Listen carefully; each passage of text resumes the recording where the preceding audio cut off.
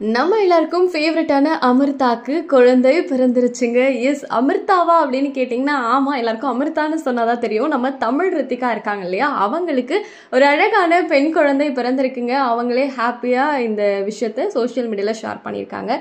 Actually பார்த்தோன்னா cook with கோமாளியில் one of the குக்காக வந்தவங்க தான் நம்ம தமிழ் ரித்திகா. அப்புறம் அங்கே சூப்பராக பெர்ஃபார்ம் பண்ணி மக்களோட மனசில் இடம் பிடிச்சிட்டாங்க. அதை தொடர்ந்து பாக்கியலட்சுமி சீரியலில் அமிர்தா அப்படின்ற ரோல் கிடச்சிருந்தது. ரொம்பவே சூப்பராக பண்ணிகிட்டு இருந்தாங்க. அப்போ அந்த சமயத்தில் தான் அவங்க கல்யாணம் வினு அப்படின்றவங்கள பண்ணிக்கிட்டாங்க. ஸோ கேரளாவில் ரொம்ப ஹாப்பியாக அவங்களோட லைஃப்பை லீட் பண்ணிட்டு இருக்காங்க பாக்கியலட்சுமிலேருந்து விட்டும் பண்ணிட்டாங்க. என்ன காரணமாக இருக்கும் ஒருவேளை ப்ரெக்னென்சியாக தான் இருக்குமோ அப்படின்னு சொல்லிட்டு கெஸ்ட்லாம் பண்ணிட்டு இருந்தாங்க அதே மாதிரி கொஞ்ச நாளைக்கு அப்புறம் ப்ரெக்னென்சி அப்படிங்கிறத அனௌன்ஸ் பண்ணியிருந்தாங்க. ஃபோட்டோஸ்லாம் போட்டு ரொம்ப ஹாப்பியாக இருந்தது. நிறைய பேர் விஷ் பண்ணிட்டு இருந்தாங்க. இப்போ இவங்களுக்கு ஒரு அழகான பெண் குழந்தை பிறந்திருக்கு. அவங்க எங்கள் மகள் அப்படின்னு சொல்லிட்டு அம்மா அப்பா குழந்தையோட பாதம்லாம் கை வச்சு ரொம்ப அழகான ஒரு ஃபோட்டோவை ஷேர் பண்ணியிருக்காங்க.